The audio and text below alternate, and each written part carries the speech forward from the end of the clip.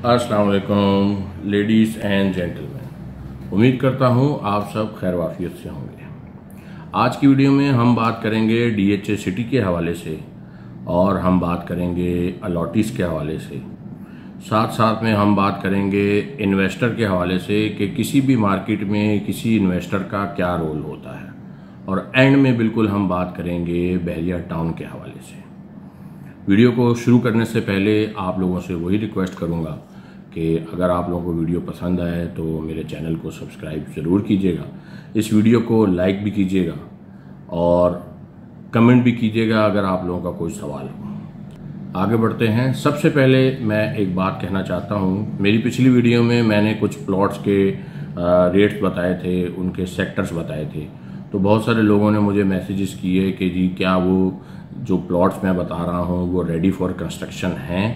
जी नहीं, बिल्कुल ऐसा नहीं और कुछ लोग थोड़े से इस बात पे कंफ्यूज थे कि जी, मैंने कुछ कैटेगरीज का ज़िक्र किया था। देखें जी, यहाँ पर अभी तक तो कोई कैटेगरी नहीं है, लेकिन मार्केट में अगर हम किसी चीज़ को कैटेगरी कहते हैं तो एक स्ट्रीट का प्लॉट होता है जो कि गली के अंदर किसी भी जगह पे प्लॉट होता है। एक गली के अंदर सौ प्लॉट होते हैं आमने सामने तो अगर गली के अंदर कोई भी प्लॉट है तो उसे हम जनरल कैटेगरी का प्लॉट कहते हैं। अगर कॉर्नर का प्लॉट है, मेन रोड का और गली का कॉर्नर है या दो गलियों का कॉर्नर है तो उसे हम कॉर्नर का प्लॉट कहते हैं, जो कि गली के प्लॉट से थोड़ा सा बेहतर माना जाता है।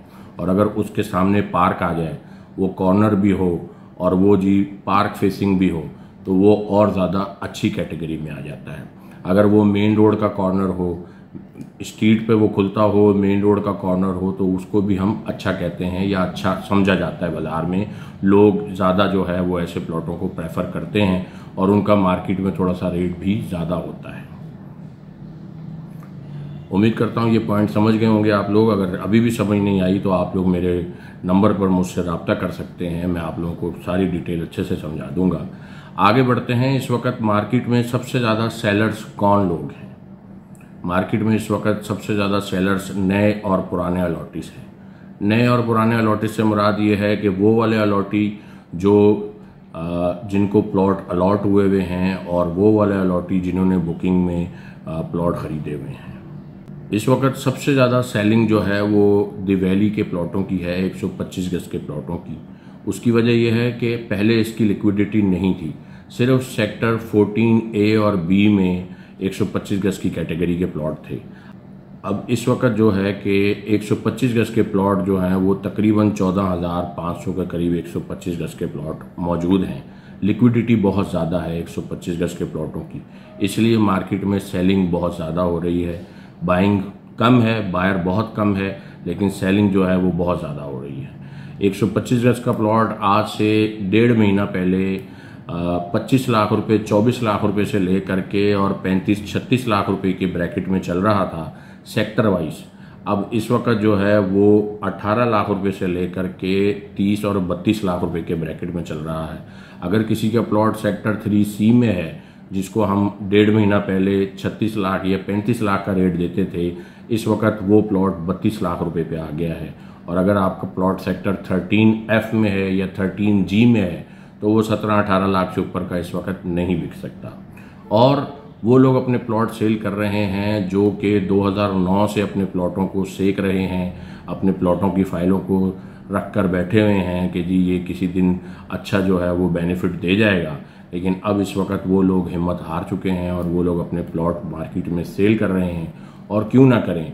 पंद्रह साल एक प्लॉट को रखना बहुत बड़ी बात है। वही पंद्रह साल अगर किसी और कारोबार में लगाए होते पैसे तो मैं समझता हूँ कि दुगने या चुगने ज़रूर हो जाने थे। अगला पॉइंट जो है वो इन्वेस्टर का है कि इन्वेस्टर का मार्केट में क्या रोल होता है। दोस्तों, किसी भी मार्केट को चलाने के लिए इन्वेस्टर का होना ज़रूरी है। अगर किसी भी जगह पर आपने रेट बढ़ाने हैं तो उस जगह पर इन्वेस्टर का आना ज़रूरी है, इन्वेस्टर का इन्वेस्टमेंट करना ज़रूरी है। अगर किसी जगह इन्वेस्टर इन्वेस्टमेंट नहीं करता तो वो जगह चलती तो है, फलती फूलती भी है, लेकिन उसको बहुत टाइम लगता है। लेकिन अगर किसी जगह इन्वेस्टर एंट्री कर लेता है और अचानक से एक जगह पर पच्चीस तीस हज़ार लोग आके ख़रीदारी शुरू कर दें तो मैं समझता हूँ कि उस जगह के रेटों को चार चाँद लग जाते हैं। और ऐसा हुआ है, माजी में ऐसा हुआ है 2016 में अगर आप लोगों ने देखा हो बाज़ार तो 125 गज तब था और वो तब भी पैंसठ सत्तर लाख का हो गया था और 500 गज का प्लॉट एक करोड़ साठ सत्तर लाख का हो गया था, जो कि अभी इस वक्त साठ सत्तर पचहत्तर अस्सी लाख के ब्रैकेट में चल रहा है। अब इस वक्त वो लोग ही प्लॉट सेल कर रहे हैं, जो कि पुराने जिन्होंने बुकिंग में लिए हुए 2008-9 से डीएचए सिटी में प्लॉट बुकिंग में लिए हुए हैं, वो लोग प्लॉट सेल कर रहे हैं। और जो अलॉटिश हैं, वो लोग प्लॉट सेल कर रहे हैं और सबसे ज़्यादा मैंने पहले भी अर्ज़ किया, दिवैली की फ़ाइल सेल हो रही है। इन्वेस्टर का ना होना बहुत बड़ा ड्रॉबैक है और इन्वेस्टर क्यों हो? इन्वेस्टर को प्लॉट ख़रीद कर आपको जो है वो एडवांस टैक्स देना है ट्रांसफ़र फ़ीस देनी है, उसके अलावा ब्रोकर का इंसेंटिव देना है। तो ये सब चीज़ें वो दे और उसके बाद दो, तीन, चार महीने के लिए छः महीने के लिए बाउंड हो जाए और उसके बाद भी कोई फ़ायदा नहीं हो तो इस जगह, ऐसी जगह पर इन्वेस्टर काम नहीं करता। इन्वेस्टर की तो कोशिश ये होती है कि वो एज सुन एज पॉसिबल उस जगह को एग्जिट करके आगे बढ़ जाए।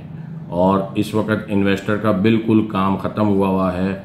यही वजह है मार्केट के नीचे जाने की। यही वजह है मार्केट अब और करेक्शन लेगी।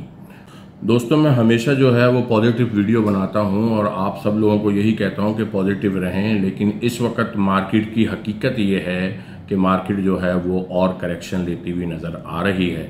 मैं समझता हूँ कि डी एच सिटी की मार्केट जो है वो एक और डिप लेगी। अभी अगर ये 25 से 30 परसेंट की करेक्शन हुई हुई है तो मैं समझता हूँ कि ये 35 से 40 परसेंट की करेक्शन ले लेगी आने वाले दिनों में। उसकी वजह यह है कि बायर नहीं है। मार्केट में काम नहीं है। और जो लोग इस वक्त ले वाली कर रहे हैं, वो कौन लोग हैं? वो भी मैं आप लोगों को बताता हूँ कि वो लोग कौन हैं। ये वो लोग हैं जो बैंकों में पैसे नहीं रखना चाहते, जो अच्छा जिनका बिज़नेस चल रहा है, कोई कपड़े का काम करता है, कोई मुख्तलिफ़ एक्स वाई जेड बहुत सारे बिजनेसेस हैं, लोग करते हैं और वहाँ से जो अर्निंग आती है, ये उस अर्निंग को यहाँ पर डाल देते हैं प्लॉटों में। और ताकि जब ये चाहें इसको कैश किया जा सकता है, फ्यूचर में साल बाद, दो साल बाद। और इन लोगों को कोई परवाह नहीं होती, इन लोगों को सिर्फ़ अपने पैसे को सेव करना होता है। इन लोगों को ये इस चीज़ से गर्ज नहीं होती कि जी, ये पचास लाख बढ़ जाएगा, ये पाँच लाख घट जाएगा। उन्होंने अपने पैसे सेव करने होते हैं। एक ऐसे लोग मार्केट में इस वक्त बाइंग कर रहे हैं और दूसरे नंबर पे वो लोग बाइंग कर रहे हैं जो अपने प्लॉटों को स्विच कर रहे हैं।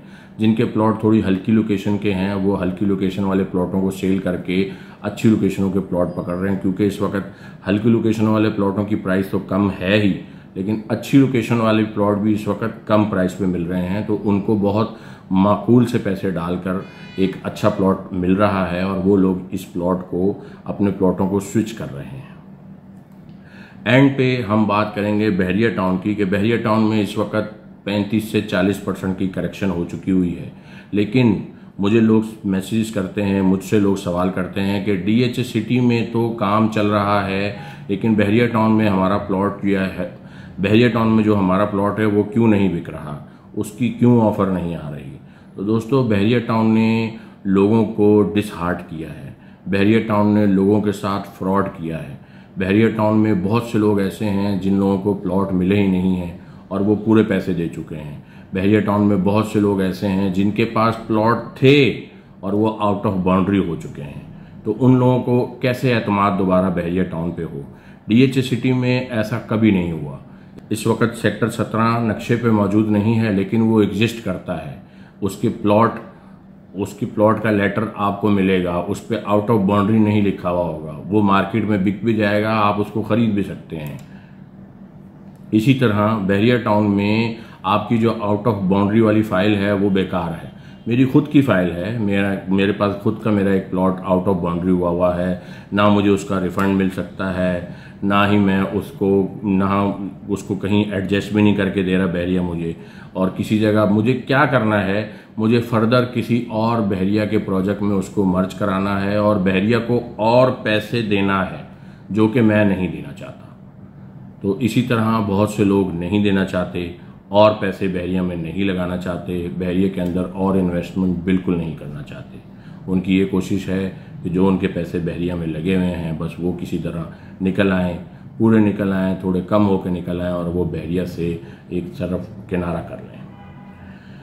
उम्मीद करता हूँ आप लोगों को वीडियो पसंद आई होगी। अगर वीडियो पसंद आई है तो लाइक एंड सब्सक्राइब ज़रूर कीजिएगा। मिलते हैं आपसे अगली वीडियो में। तब तक के लिए अपना बहुत सारा ख्याल रखिएगा। अल्लाह हाफिज़।